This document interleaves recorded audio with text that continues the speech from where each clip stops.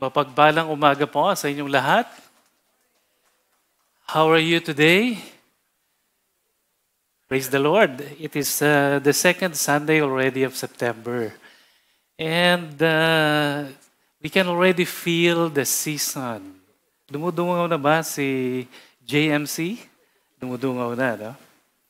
And September, uh, in a way, parang alam niyo ba that we are talking, we are going to talk about love today. Okay?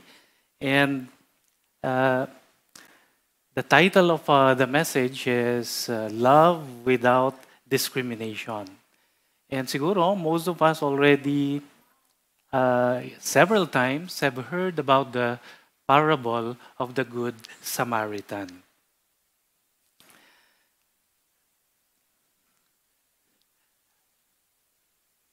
There is a wonderful song that has been with us, and I guess most of us here in Gospel Church are familiar with this wonderful song. However, uh, sino nga ba no, ang sumulat ng song na ito? Okay? Next slide, please.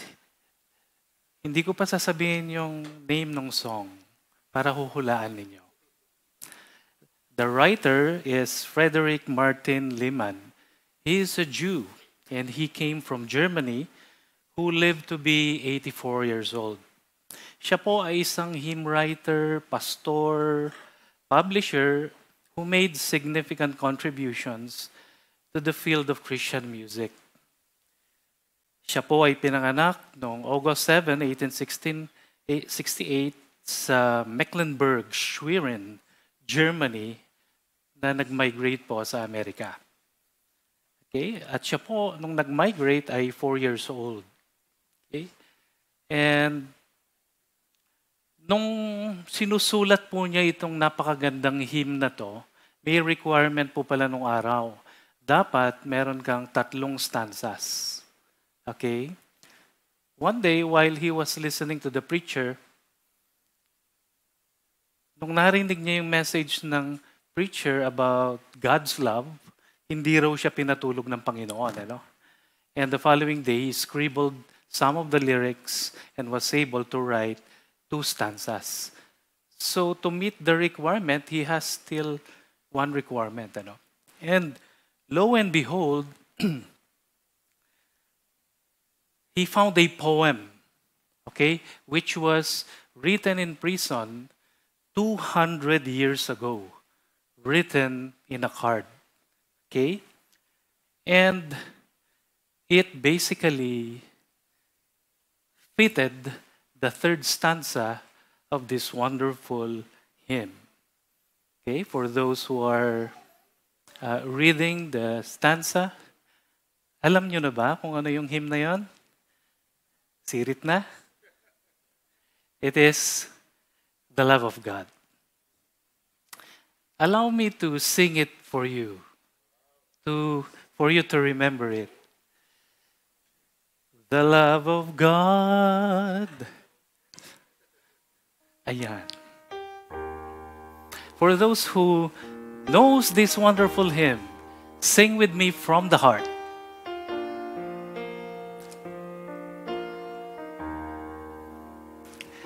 The love of God is greater far than tongue or pen can ever tell. It goes beyond the highest star and reaches to the lowest hell. The guilty pair bow down with care. God gave his son to win his erring child. He reconciled and pardoned from his sin. I leave it at that. The second stanza states that, O love of God, how rich and pure how measureless and strong. It shall forevermore endure, the saints' and angels' song. When years of time shall pass away, and earthly thrones and kingdoms fall, when men who hear refuse to pray, on rocks and hills and mountains call. God so loved, so sure, shall still endure, all measureless and strong, redeeming grace to Adam's race, the saints and angels' song. Let us sing the third stanza, which was written 200 years ago in prison. Perhaps the one who wrote it was incarcerated, but apparently he was also a Jew.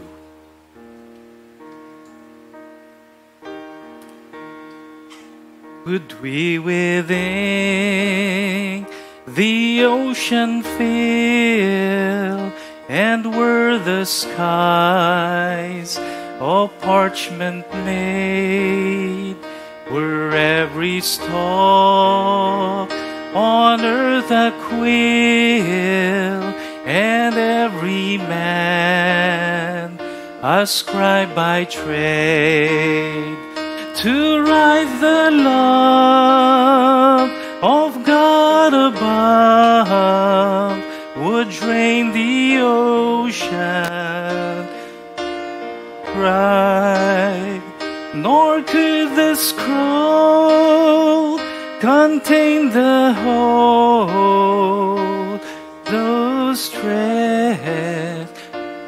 sky to sky Amen? The fact is, God spoke clearly to Frederick Lehman and provided such wonderful and powerful lyrics so the hymn, through the life inspiration of one person deprived of liberty 200 years ago, the love of God was complete in a very unique and masterful way written and inspired by the Holy Spirit. I pray that God would speak a masterful way po this morning through the power of the Holy Spirit. More so, may our Lord God refresh us with His amazing and limitless love. Let us pray. Lord, thank you for your presence with us this morning. Such a wonderful hymn that you have used Frederick Lehman as a legacy, as something that we can express our hearts in amazement of your love for us. Lead us today, O God, in Jesus' name we pray. Amen. The main idea for today, as uh, the context is found in Luke 10, verses 25 to 37, is self respect and loving others without discrimination springs from a life of loving God without reservations. I repeat, self respect and loving others without discrimination springs from a life of loving God without reservations. In Luke 10, verses 25 to 29, the Bible says, And behold, the lawyer stood up and put him to the test, saying, Teacher, what shall I do to inherit eternal life? And he said to him, What is written in the law? How does it read to you? And he answered, You shall love the Lord your God with all your heart, with all your soul, with all your mind, and with all your strength, and your neighbor as yourself. And he said to him, You have answered correctly. Do this and you will live. Verse 29 But wanting to justify himself, he said to Jesus, And who is my neighbor?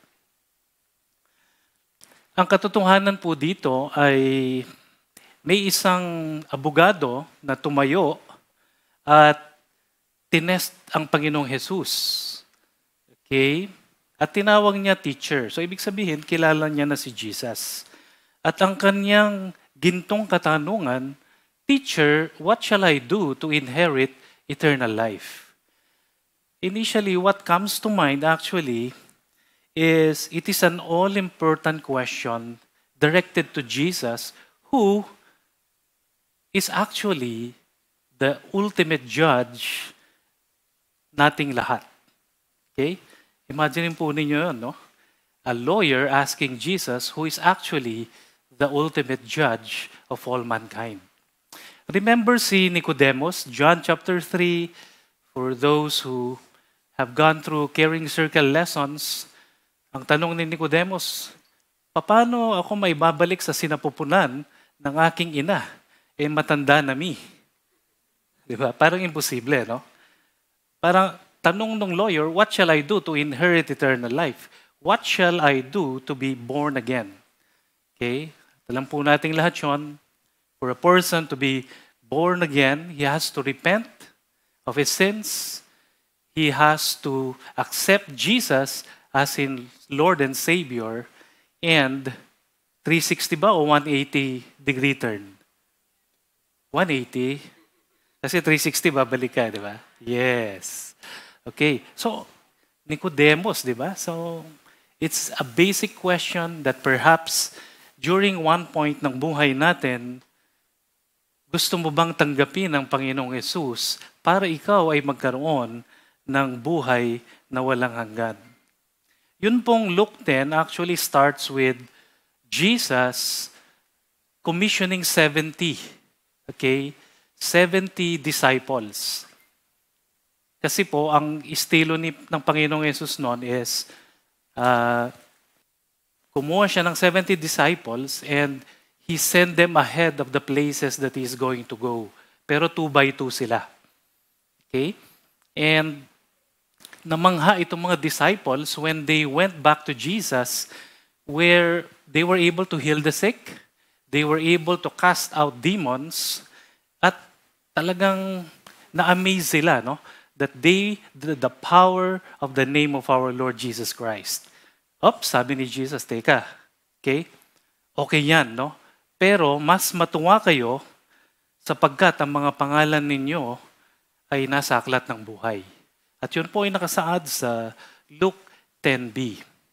Okay?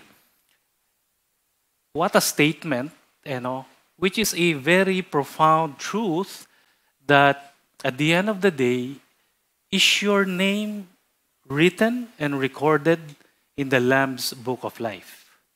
If your answer is yes, and your answer is, how do you make sure that your name is written in the book of life? Then praise the Lord. So sa po ng abogado, ang isinagot ng Panginoong Yesus ay dalawang katanungan. Okay? Instead of a direct answer, Jesus answered with two questions. At ang unang tanong niya, ano ang nakasulat sa law? Okay? At ang pangalawang tanong niya, sa lawyer, how does it read to you? Okay? Sa akin pong pananaw, parang si Jesus was also testing the lawyer by throwing back these two questions.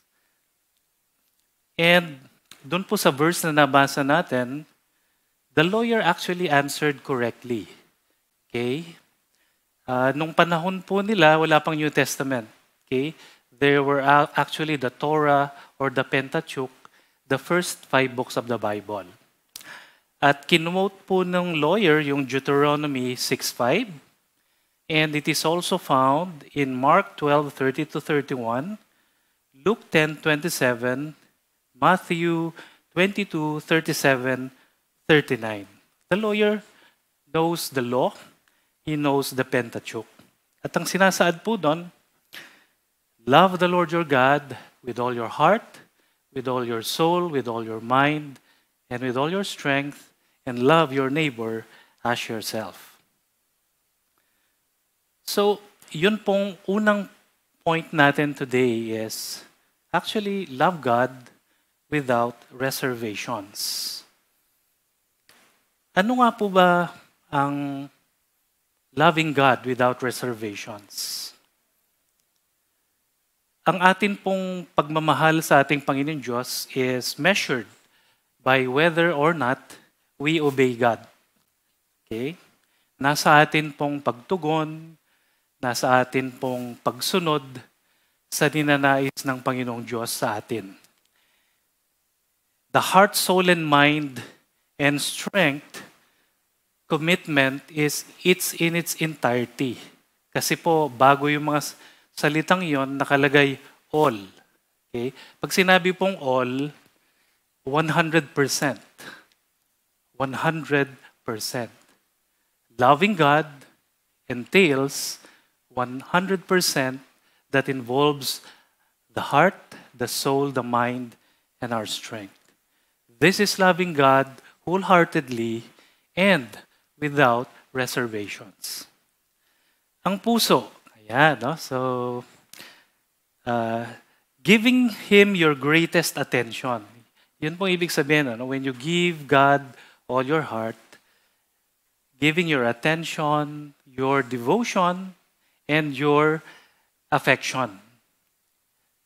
It is treasuring God above all else. Maging po sa earthly relationships, sa mga naisin natin, at sa mga pag-aari natin. Meaning, God is all in all, God is number one from our hearts. Pangalawa, sa kaluluwa. Paano nga ba? No? All my soul. Ibig sabihin po nun, meron po palang forever. It is loving God for eternity. Alam po natin na when we leave this earth, ang atin pong heart stop, right? And we transition to eternity. Pero, yun pong kaluluwa natin lives on. Remember the three parts of man? Body, soul, spirit. Okay? The soul lives on. Ang Diyos po natin, nais niya na ang ating relationship will last forever. And our hope is we would be together with Him in heaven for eternity. Eh, ang mind naman, no? Kumusta ang mind, no? Uh, ibig sabihin po nito, to love with all our mind is dapat po unconditional ang ating pagmamahal sa ating Panginoong Diyos. Okay? Lord, I love you if you give me my girlfriend. Hindi siya ganun, no? Lord, I will love you if you promote me at work. Lord, I will love you if you bless my business. Okay? Di po siya ganun, no? When we say with all our mind, our love for God should be unconditional because we know He is worthy of love even if we do not like it. Tao po kasi tayo, di ba? May moods, may temperaments. Minsan, hindi natin uh, nagugustuhan minsan yung mga sitwasyon. Love God with your intellect that you love God with determination and commitment. Okay? Determination and commitment because there are many times that you would be in situations that you won't like it. At yung pong pinakahuli, strength. With all our strength, ibig lang po sabihin nito, is loving the Lord with all the things that make you strong or stable in life. Ano po yon? Mga accomplishments, mga influences natin, mga resources natin, we use it all for God's glory. Okay? So, yun po yung heart, soul, mind, and strength.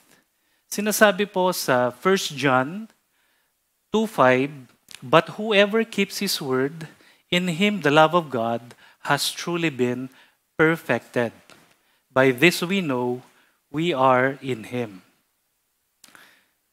obedience, His word in our hearts, continuously working sa buhay natin. Okay? By this, the verse says, we know that we are in Him. But wonderful din po yung 1 John 2.6 which says, The one who says he abides in Him ought himself to walk in the same manner he walked. Okay? Jesus modeled the way tayo rin po should be able to live according to what Jesus exemplified in his life. So, love God without reservations. Yun po yung unang point natin. And the second point is, very interesting po ito, love yourself with respect. Love yourself with respect. Meron pong survey na sinasabi na 85% daw po ng mga adults and adolescents struggle with low self-esteem. Wow, quite a huge number, no? 85% struggle with low self-esteem. Okay? And ano nga ba ang ibig sabihin ng self-respect? Self-respect is basically understanding and honoring your own needs. It's knowing your worth and acting accordingly. If you feel you need to work more on self-respect, I guess marami po sa atin, uh, maraming mga challenges And when faced with certain difficulties na hindi po tayo familiar, minsan yung ating uh, self-esteem eh, hindi ganon kaganda. Okay? And we basically know na it is God's transforming power that gives us that energy, that power through the Holy Spirit to overcome. Pero may practical tips lang po if you are going through some self-respect or self-esteem challenges in life. Number one po, mahalaga na maliwanag sa iyo yung mga values mo. Okay? Kasi pag maliwanag ang mga values mo, you are able to say yes. You're able to say no. Okay? Hindi yung or. Nasa gitna, ano? It's either a yes or a no. Bro, Sama ka sa amin. Okay? Pero hindi siya part ng value mo eh. So anong sagot? Uh, sister, uh, mukhang maganda yung pupuntahan ninyo eh. Sama natin si ano.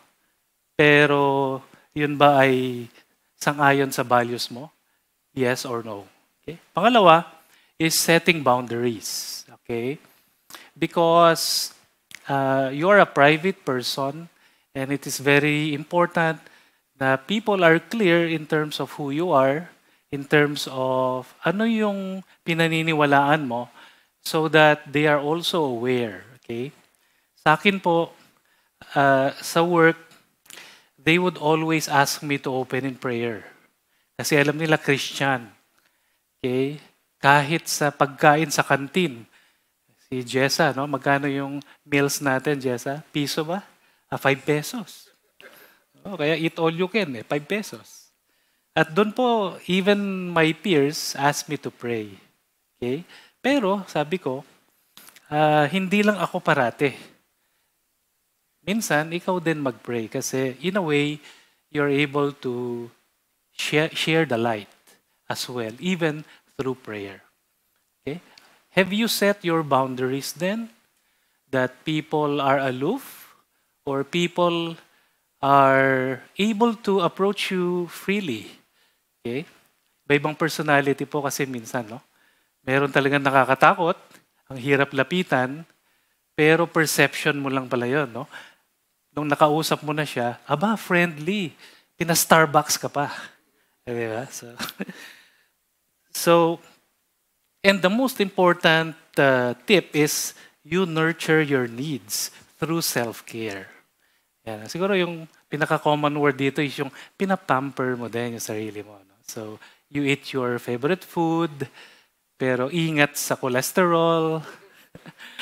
uh, you have your hair done, nails done for women, uh, men sports. That's self-care kasi in a way it relieves stress, allows you to think better. You free up things that are in your mind. Iba't iba yun pong pagpapamper and self-care natin.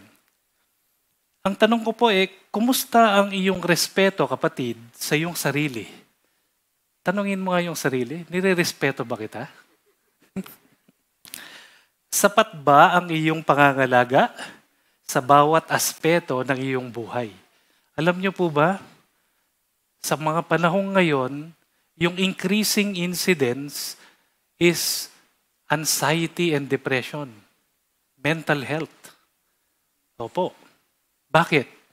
Alam po namin kasi malakas ang gamot namin sa kumpanya. Kidding aside, you ask yourself if you respect yourself enough and sapat ba ang pangangalaga sa bawat aspeto ng iyong buhay. Point number two, love yourself with respect, actually starts with having respect to ourselves. Parang dun sa command, love your neighbor as yourself, if you do not respect and take care of yourself, will that translate in loving others? Definitely not.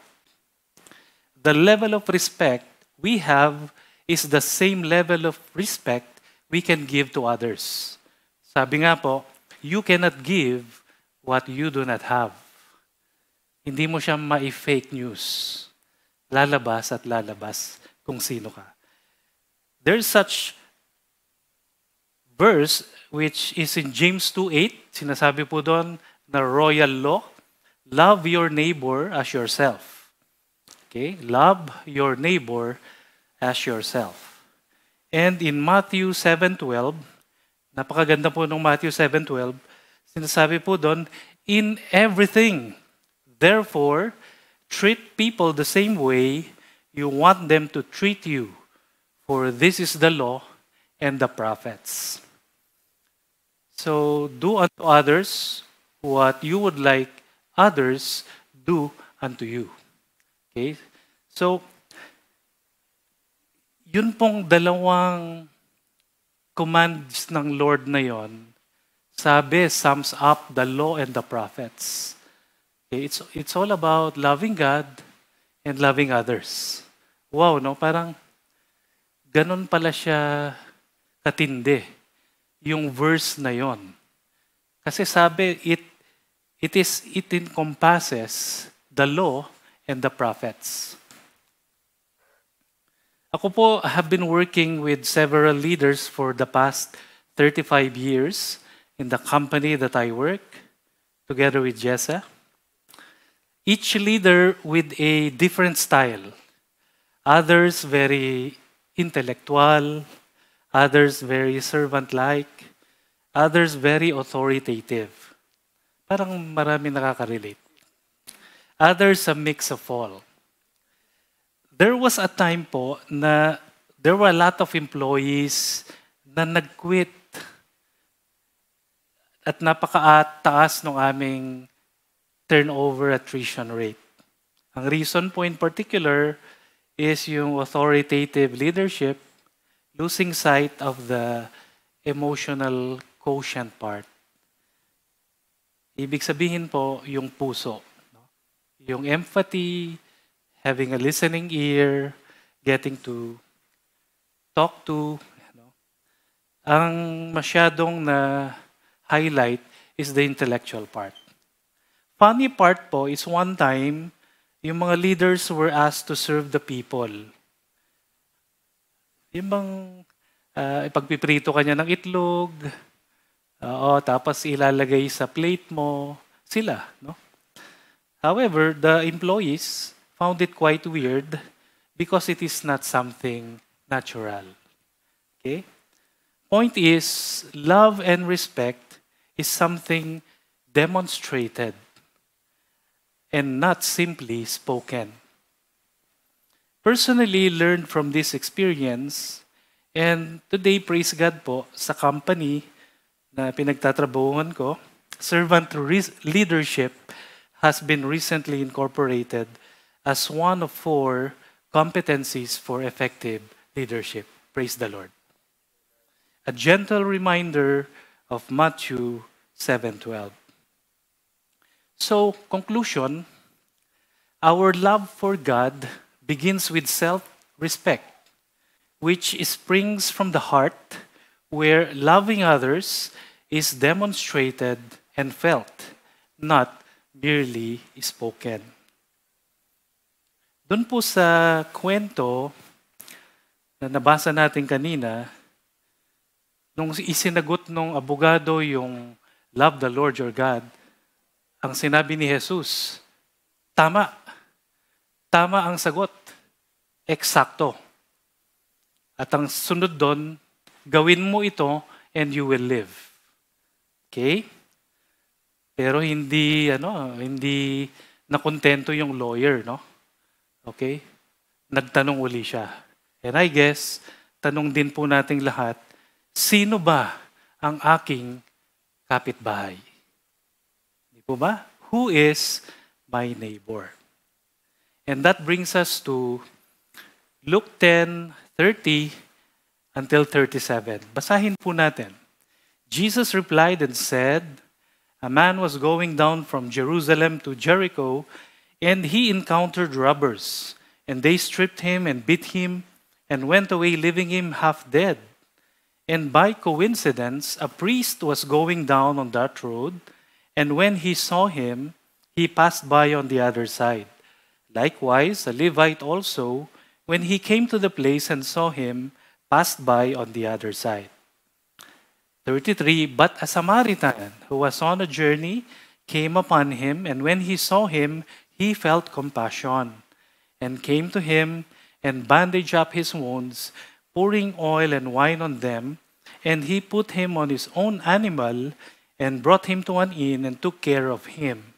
On the next day, he took out two denarii and gave them to the innkeeper and said, Take care of him, and whatever more you spend, when I return, I will repay you.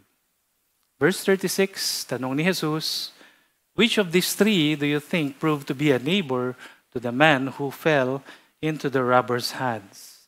Sagot ng lawyer, the one who showed compassion to him. Then Jesus said to him, Go and do the same. Point number three po natin is love without discrimination. So, yun pong characters dito is uh, a priest, a Levite, a Samaritan, and a man.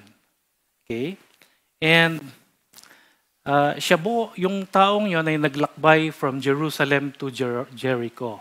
It's about 39 kilometers. Dito po sa bansa natin, if you're in Manila, 39 kilometers to the north is Kalumpit, Bustos. To the south, it's Santa Rosa or Dasmariñas, just about. Okay? 39 kilometers. At yun pong, nung panahon nila ng Panginoong Yesus, ang malimit pong naglalakbay dyan ay mga priest, mga Levites, sapagkat nakabase sila sa Jericho. Hindi po ito yung Jericho of old. Okay? Kasi ito na po yung panahon na ng Panginoong Yesus. We had a chance to be there 2017, I think, no? And uh, nakakamangha po, no? Yung lugar ng Jericho. It's exactly where uh, the Bible ano, uh, said so. And uh, yun pong naglakbay na tao, unfortunately, marami pong mga robbers. Okay? Doon sa road na yon, Jerusalem to Jericho. And this man, He was stripped, he was robbed, and left half dead.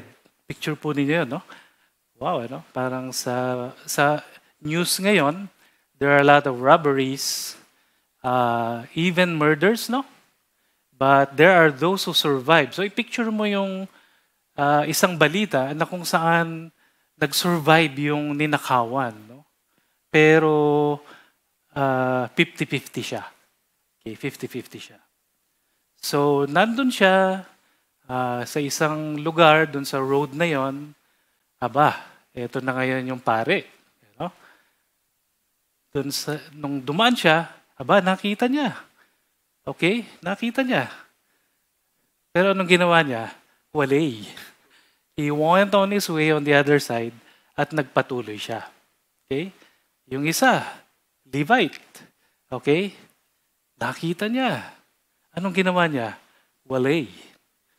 Okay? Went on the other side and went on his way. The priest and the Levite saw but did nothing and just passed by. Ano po yung pumapasok sa isip natin doon sa ginawa ng priest at saka ng Levite? No love, no? Kasi, ano lang, hinayaan lang niya. There was no sense of urgency to help. The Bible says, halos uh, mamatay na yung tao eh.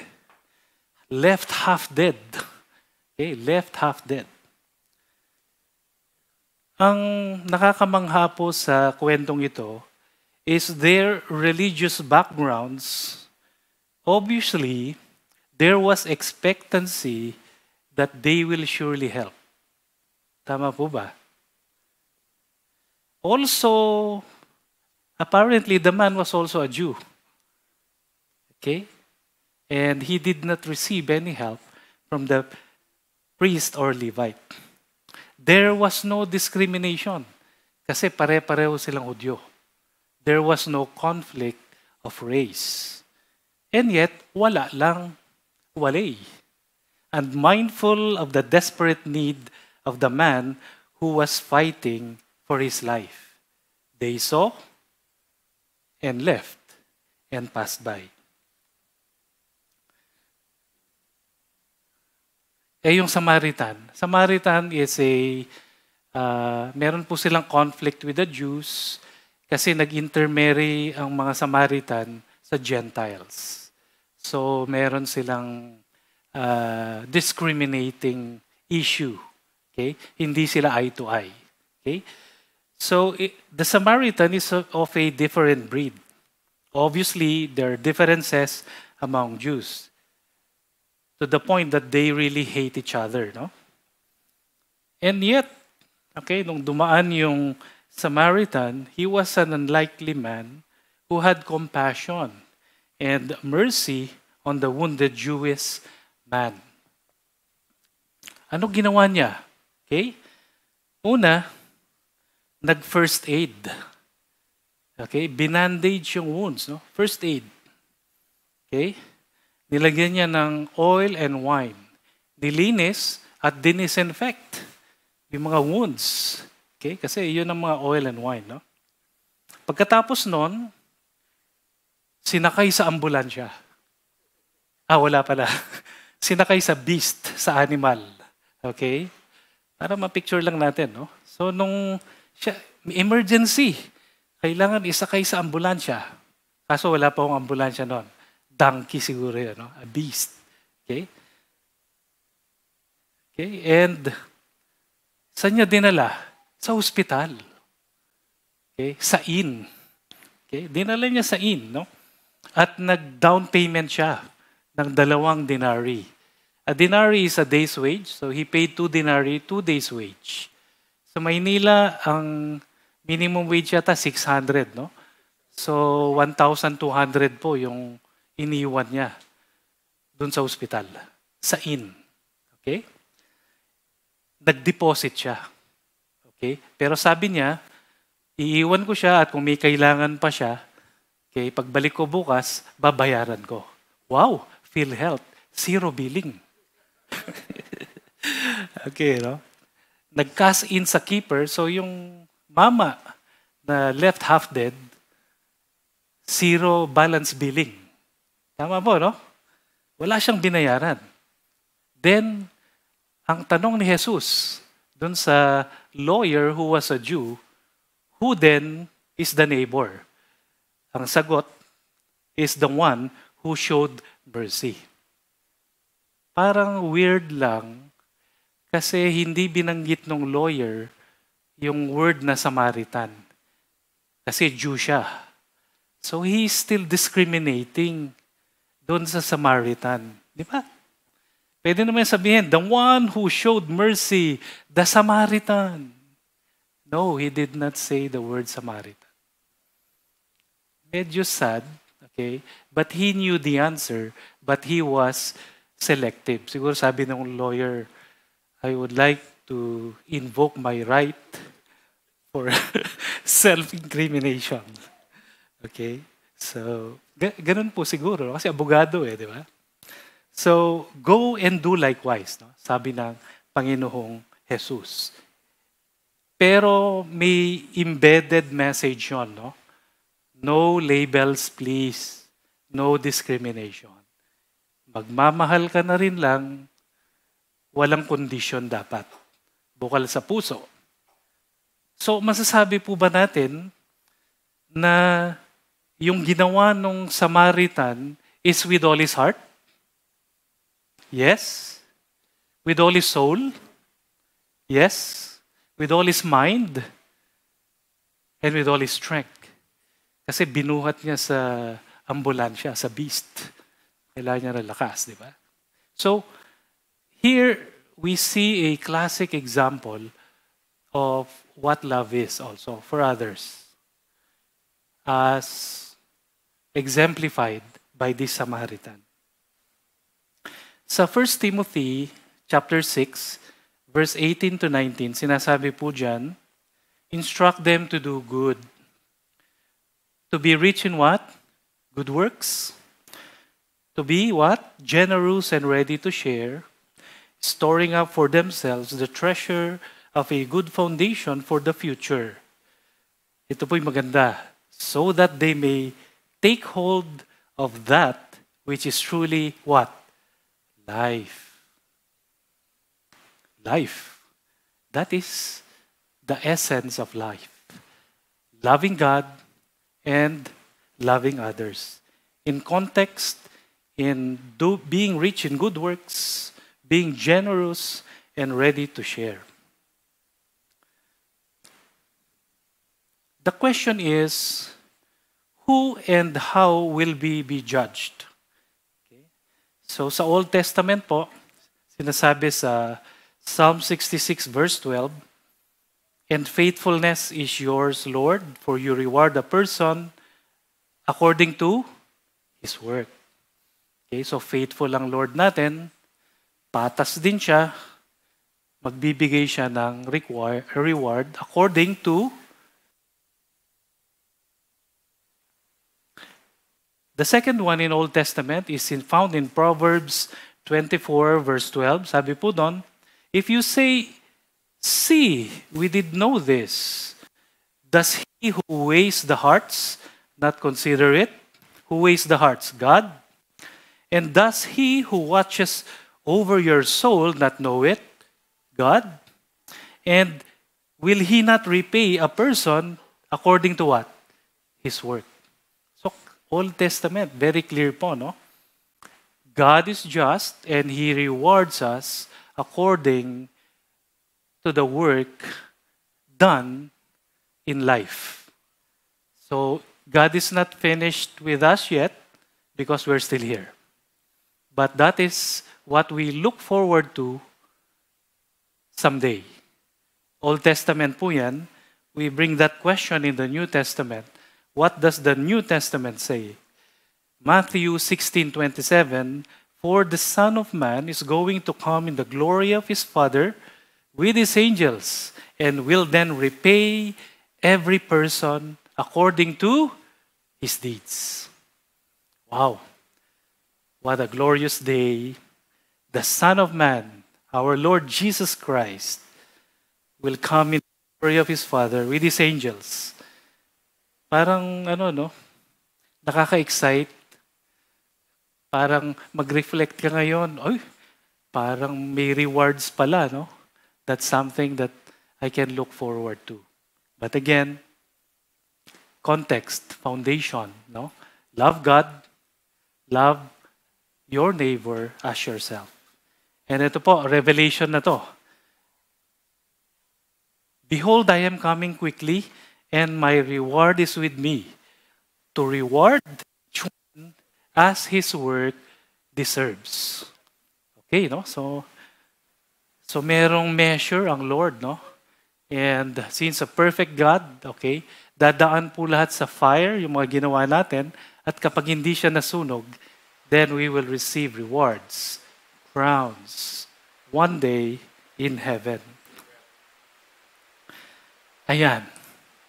Next slide, please. Actually, there are modern day Good Samaritans. Yun pong lalaki, matanda na. Yan po si George Mueller. Okay, so if you know George Mueller, meron po niyang gift of faith. Ang kanya pong legacy, throughout his lifetime, uh, kinupkop po niya ang sampung libong orphans at kanya pong pinag-aral. Yan po ang ministry. Yan po yung exemplification of what loving your neighbor sa buhay po ni George Mueller. Nagtayo po siya ng mga orphanages, institutions, and God used this holy man mightily in providing good futures for orphans in the streets. Yun pong pangalawa, siguro yung tanong dyan, ako ba yan? Di ba? Ako ba ay isang modern day good Samaritan? No? Uh, sinasabi po sa sa Barna na 65% daw po ng mga nasa church ay yung mga practicing Christians ay nakaranas ng pagkatapos ng kanilang pagbibigay ay nare-reciprocate. Ibig sabihin, nabalik ng pagpapala ang kanilang pagbibigay. 65%. Okay? And 54% sinasabi po ay dahil natutunan nila yon sa church. At sinasabi po nila na talagang malaking bagay na naituturo yan sa church. Okay? So, in application po, number one, Let us obey God above everything else to experience more peace and joy. Pangalawa po is, let us love ourselves with respect and serve the Lord and serve our neighbors. Third point po is as we serve our God and serve like modern day Samaritans, let our influence be felt where it is most needed. Influence kasi po the immediate people who are able to observe and see your Samaritanness are your children, if you're a parent, are your peers, are your churchmates. And if it influences them, then it changes them and eventually changes a community, be it in the marketplace. And our own hearts be blessed with much needed peace and happiness. Tama naman po, di ba? Meron din pong article doon na nakakatuwa.